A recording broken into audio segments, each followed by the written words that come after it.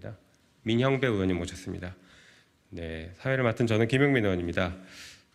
아, 아, 지난 비상의총에서 어, 더불어민주당은 불법 행위를 저지른 검사에 대해서 탄핵하겠다라고 결의를 했습니다.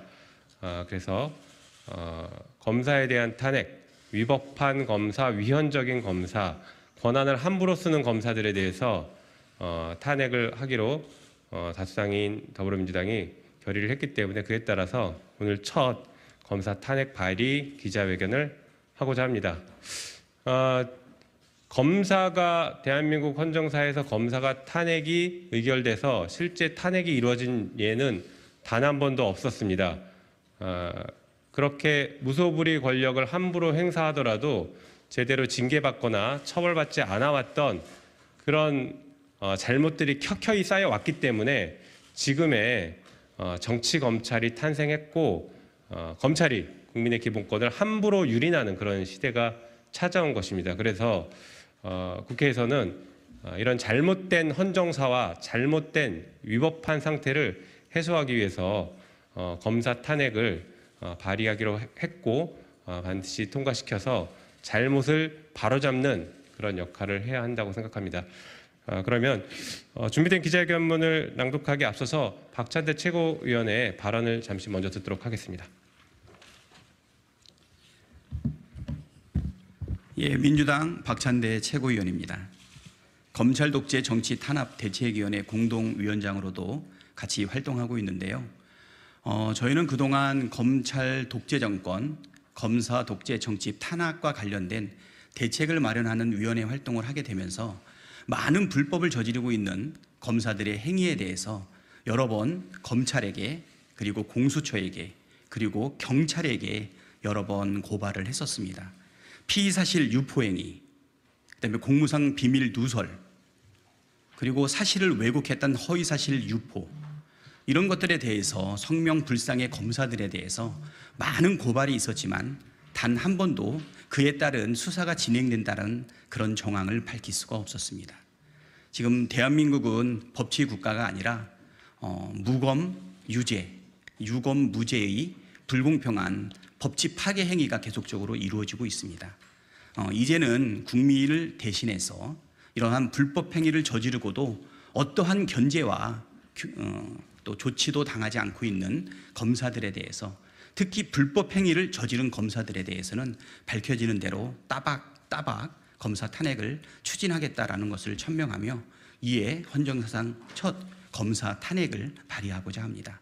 국민 여러분과 함께 정말 법치가 무엇인지 정의와 공정이 무엇인지 밝혀나갈 수 있도록 우리 민주당은 국민과 함께 끝까지 싸워 나가겠습니다. 감사합니다. 네. 기자회견 낭독에서 잠시 설명을 드리면 오늘 그 탄핵을 발의하는 그 검사 대상은 서울시 공무원 간첩 조작 사건의 보복 기소로 대법원으로부터 어, 공소권 남용이 인정된 안동환 검사를 그 대상으로 합니다. 그리고 방금 박찬대 최고위원이 말씀하신 것처럼 어, 앞으로도 위법 행위가 확인된 검사에 대해서는 이번에 그치지 않고 추가로 어, 탄핵을 계속 추진하겠다라는 약속도 드립니다. 아, 국민의 기본권을 유린하는 검사에 대해서 국회가 나서서 탄핵을 하는 것은 아, 징계 절차인 것이고 어, 그야말로 자유민주를 자유민주주의를 지키는 것이며 검찰의 기득권 카르텔을 아, 저희가 경고하고 아, 혼내는 그런 국회의 기능을 아, 하는 것이다라는 것을 다시 한번 강조드립니다. 지금부터 아, 기자회견문 낭독하도록 하겠습니다. 엄중하고 무거운 마음으로 이 자리에 섰습니다. 안양 만안구 출신 강득구 의원입니다. 민주당은 불법을 저지른 검사에 대한 탄핵 소추안에 뜻을 같이 하는 100여 명의 의원이 오늘 탄핵안을 발의합니다. 이는 지난 70년간 누적된 검찰의 잘못을 바로잡는 첫 발을 떼는 큰 걸음의 시작입니다. 검사 징계법에 따라 검사가 잘못해도 검찰총장이 징계 청구를 하지 않으면 징계할 수 없었습니다. 없습니다. 이게 현실입니다. 이를 통해 검찰총장에게 충성하던 검찰은 검사의 잘못을 징계하지 않고 제19 감싸기로 봐줘왔습니다. 징계는커녕 오히려 검사직을 그대로 유지하거나 그리고 자유롭게 승진까지 해왔습니다.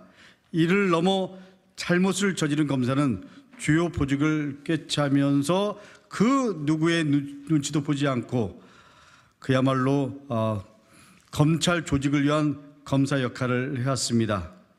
검사는 은퇴 후에도 정가내우라는 범죄를 통해 부를 축적해 왔습니다.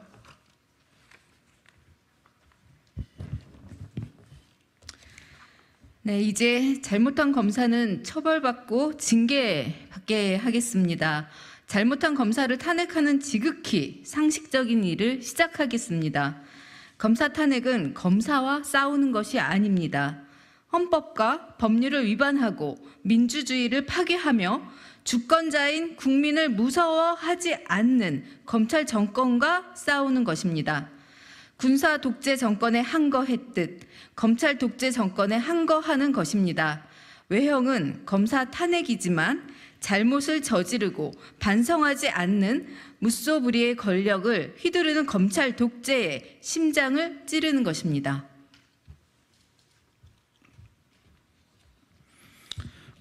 지난 6월부터 검사 탄핵을 준비해 왔고 최근 검사 탄핵 발의 요건인 100명의 동의를 넘어 당론으로 불법을 저지른 검사에 대한 탄핵 절차를 추진합니다. 그 첫걸음으로 안동환 검사 탄핵 소추안을 발의합니다. 안동환은 서울시 공무원 간첩 조작 사건의 증거들이 조작되었음이 밝혀지고 검찰이 큰 위기에 처하자 이미 기소유예 처분을 받았던 사건을 가져와 뒤늦게 보복 기소를 감행했습니다.